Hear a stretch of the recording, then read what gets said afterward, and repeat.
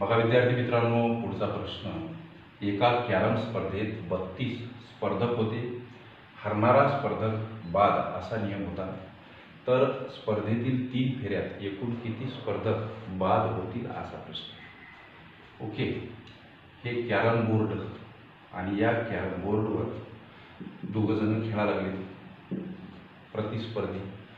याच्यामध्ये एक जिंकणार लेकरांनो आणि एक हारणार म्हणजेच बाद होणार अशा पद्धतीचा हा खेळ आहे. ही स्पर्धा आहे. हारणारा बाद दोघंजणं प्रतिस्पर्धी ज्यावेळेस खेळतात त्यावेळेस एक जिंकतो एक बाद होतो. हा नियम आहे या स्पर्धेचा. आपल्याला मूळ प्रश्न विचारला तीन फेऱ्यात एकूण किती स्पर्धक बाद होतील? ही पहिली फेरी. लक्ष द्या. पहिली फेरी. पहिल्या फेरीमध्ये सोळा जण सोळा जणांसोबत खेळणार सोळा जण जिंकणार तुमच्या लक्षात यायला लागलं. आणि सोळा जण बाद होणार. ओके. पहिल्या फेरीत बाद झालेले स्पर्धक सोळा. आता मित्रांनो दुसरी फेरी. दुसरी फेरी. या दुसऱ्या फेरीमध्ये कोणते स्पर्धक खेळणार? जिंकलेले. पहिल्या फेरीत जिंकलेले उमेदवार अर्थात स्पर्धक सोळा आहेत. मग या सोळामध्ये लढत होणार आठ जणाची आठ जणांसोबत. लक्ष द्यायला तुमच्या याच्यामध्ये आठ जिंकणार. आणि आठ बाद होणार.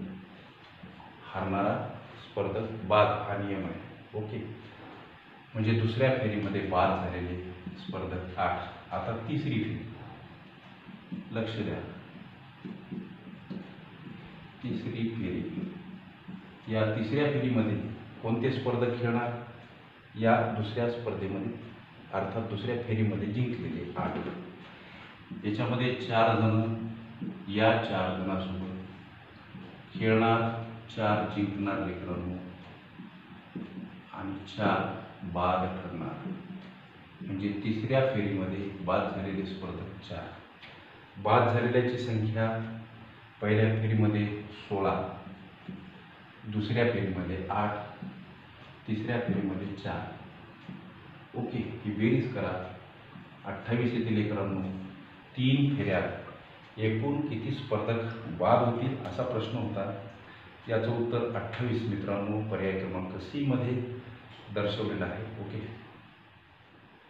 विद्यार्थी मित्रांनो स्पर्धा परीक्षेतील प्रत्येक प्रश्नाच्या तयारीसाठी जरूर सबस्क्राईब लाईक आणि शेअर करायला विसरू नका. रामकृष्ण.